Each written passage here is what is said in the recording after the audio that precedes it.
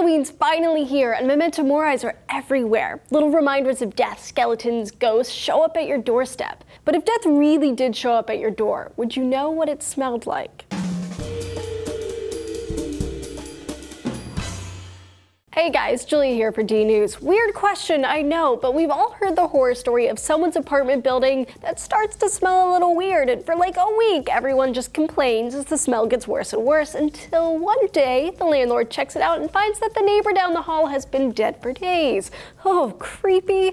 But the thing is, as common as the smell is, it's hard to pin down. I mean, scientists are very good at figuring out the physics of other senses, like light and sound, but the thing is, scents don't come in waves, it comes in molecules molecules that diffuse through the air to reach your nose. How they move is totally random. The molecules bounce off each other till they fill a space. Once they reach your head, those molecules fit certain receptors and trigger a specific smell. So maybe we have specific receptors to smell death. In the case of death, when something dies or meat rots, certain chemicals are produced when protein decomposes. Protein's broken down into its smaller molecules, amino acids, lysine, and ornithine.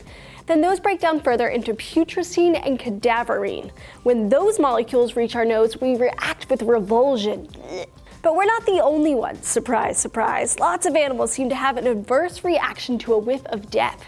The zebrafish are a prime example of this. In one study published in the Proceedings of the National Academy of Sciences, researchers sought to find what goes on in their fishy brains when they catch a whiff of death. They found the fish react very strongly to low concentrations of cadaverine. The fish instantly swim away from just a drop of death. The researchers found that a certain receptor in their brains, TAAR13C, fit exactly the compound for cadaverine. It's kind of like a lock and key system. The receptor only binds to that compound. While that particular receptor is only in bony fishes, we have similar receptors in our brains. And for good reason. Putrescine and cadaverine warn us when something is wrong, whether meat that has gone bad that could potentially poison us, or when something dead is nearby, signaling danger. We probably evolved these specific receptors to help keep us alive. For some reason, humans smell different when we decompose, though. Those who've smelled it say it smells like nothing else. Trace, unfortunately enough, experienced the unpleasantness firsthand. He described it as sort of like wet dog, but worse.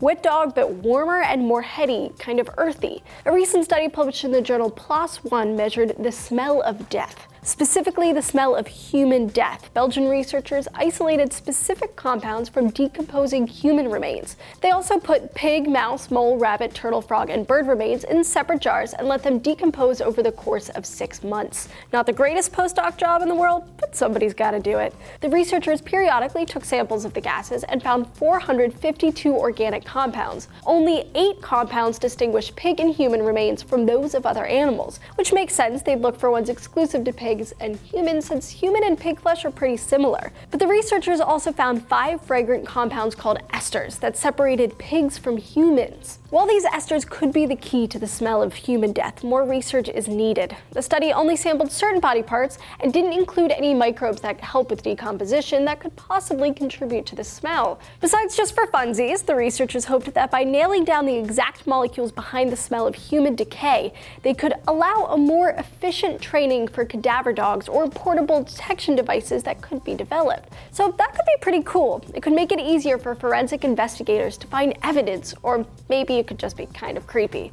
Most people are morbidly fascinated by the subject of death. It's mysterious, terrifying, and yet comes for us all whether we're ready or not. To learn more about the most common causes of death, click here to watch this Seeker Daily video.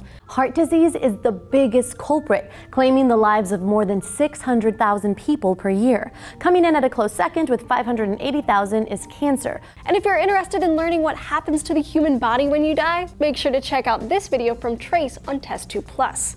So EEG scans done in studies of patients at the time of death found that there is a burst of energy right at the moment of death.